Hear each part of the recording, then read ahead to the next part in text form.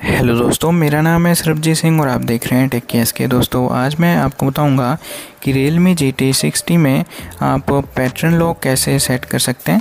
तो चलिए दोस्तों, बिना किसी देरी के वीडियो शुरू करते हैं। तो इसके लिए आपको सबसे पहले फ़ोन की सेटिंग्स में जाना है।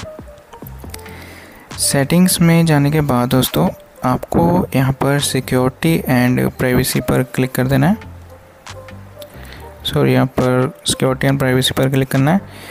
इसके बाद आपको यहाँ पर डिवाइस अनलॉक पर क्लिक करना है। और अब आपको यहाँ पर स्क्रीन लॉक पर क्लिक कर देना है। तो इसके बाद दोस्तों आपको यहाँ पर पैटर्न की ऑप्शन मिल जाएगी। जैसे आप क्लिक करेंगे पैटर्न की ऑप्शन मिल जाएगी। पैटर्न पर क्लिक कर देना है। यहाँ पर आपको अपना पैटर्न ड्रॉ कर लेना है। और दो बार आपको ड्रॉ करना है। और आपका जो पैटर्न लॉक है फ़ोन का सेट हो जाएगा।